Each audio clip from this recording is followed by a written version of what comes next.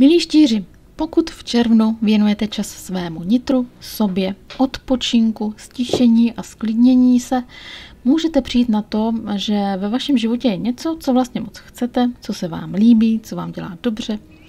Jen na to přes hluk všedního dne nejenže nemáte čas, ale asi byste na to ani nepomysleli. To je zajímavé. Je to příležitost něco zlepšit, vyřešit nebo vykročit naprosto novým směrem, takže to sklidnění se tady hodně vyplatí. Může vám ušetřit dost starostí do budoucna.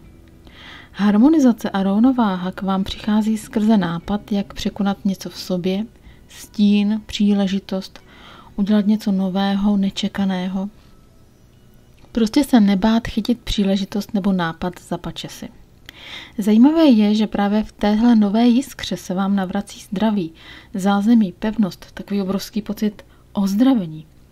Jednoduše, může se klidně stát, že ze zdánlivě hloupého nápadu vzejde situace, díky které se vám vyřeší něco tak praktického, že to je až neuvěřitelné. Tak tohle je jeden z nejzajímavějších výkladů, které jsem tady měla, takže tady určitě budu ráda, když mi případně štíři, kterým se tohle přihodí, napíšou, co se jim přihodilo, protože já si to neumím představit. Tak já vám přeju zajímavý a pěkný červen.